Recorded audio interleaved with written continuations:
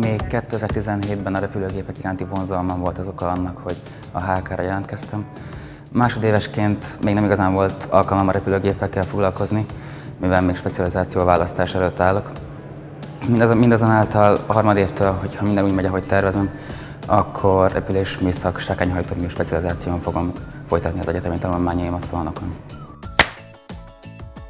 Mivel már két éve vagyok katonai üzemeltető, így azt tanácsolnám azoknak, akik, akik erre a szakra pályáznak, hogy azok jöjjenek erre a szakra elsősorban, akiket érdekel az informatika, a híradás, a drónok világa, vagy esetleg a repülőgépek műszaki oldala.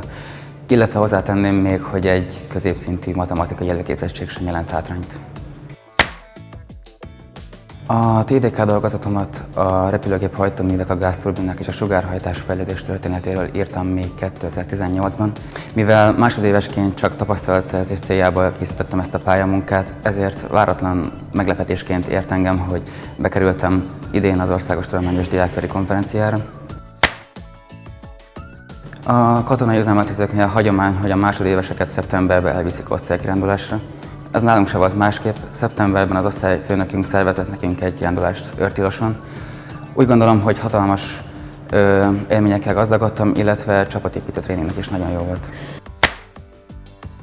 Körülbelül egy éve belecsöppentem a fitnessiparba.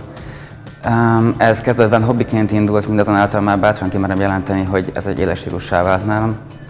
Reményeim szerint, hogyha eljutok esetleg arra a szintre, akkor egy éven belül talán még versenyszerűen is tudom űzni ezt a sportot. Azért szeretek az NK-re járni, mert egy nagyon jó közösség tagja lehetek, illetve a tanulmányaim befejeztével biztos állás és megélhetés vár majd engem 2021-ben.